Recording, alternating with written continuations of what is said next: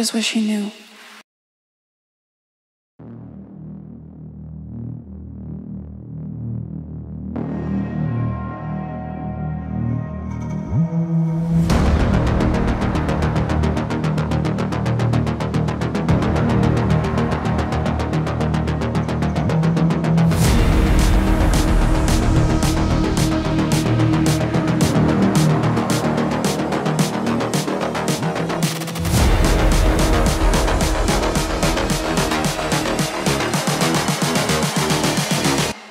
Just wish he knew.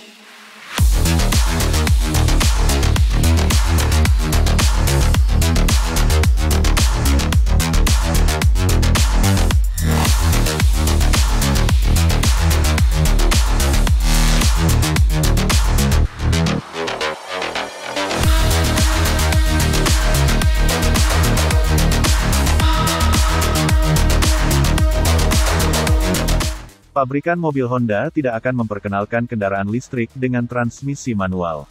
Honda tidak berniat mengikuti Toyota dalam memperkenalkan transmisi manual ke dalam kendaraan listrik yang sedang dikembangkannya.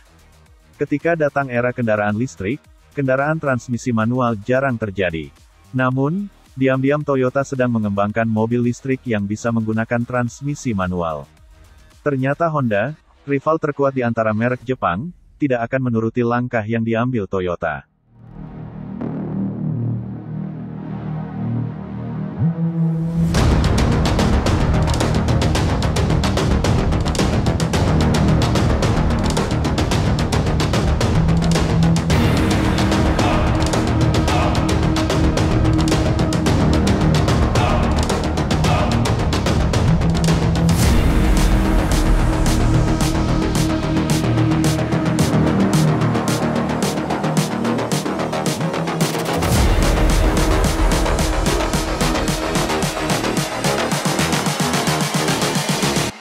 Just wish he knew.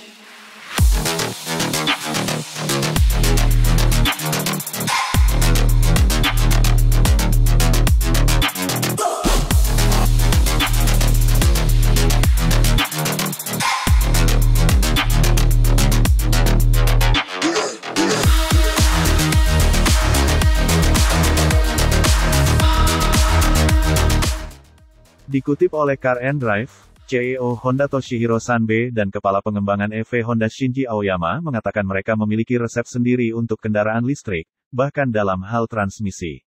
Setelah itu, gearbox yang digunakan Honda untuk mobil listriknya akan menjadi otomatis. Menurut Aoyama, penggunaan transmisi mekanis pada kendaraan listrik tidak dapat dikembangkan.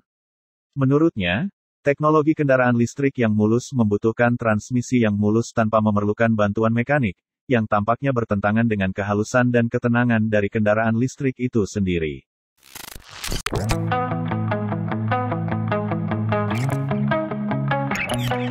Entombed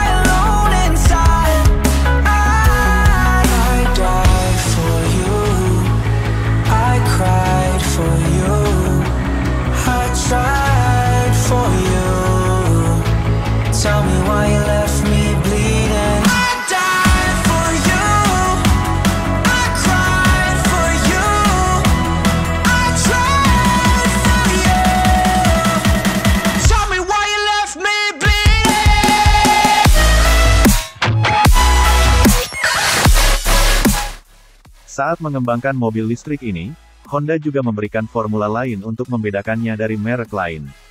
Salah satunya adalah menggunakan teknologi baterai, paket pengembangan dan pemrograman. Toshihiro Sanbe juga mengatakan bahwa menggunakan gearbox 3 pedal pada kendaraan listrik akan sulit diterapkan seperti yang dilakukan Toyota.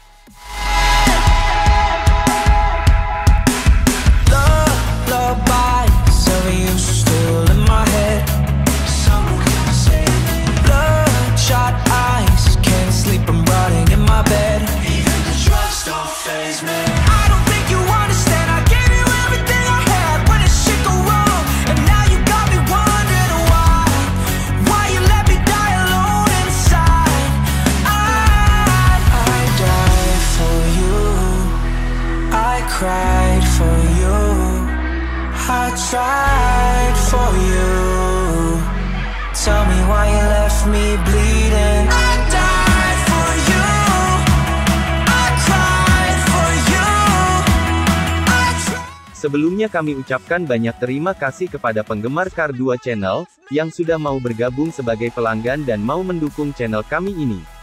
Suatu kehormatan untuk Anda semua yang sudah memberikan dukungan kepada kami. Beri kritik dan saran pada kolom komentar guna perbaikan channel ini.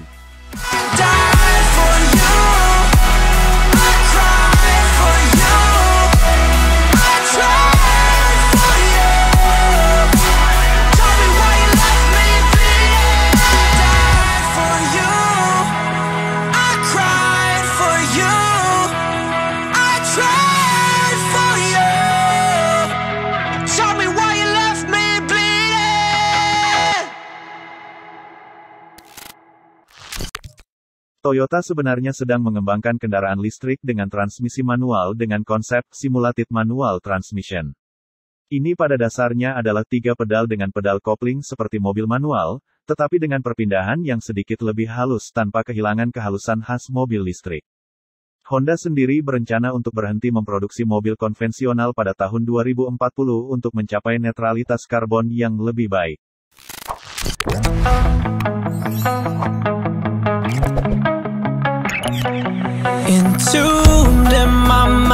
Can't seem to break away. Lost in time, thinking about better days.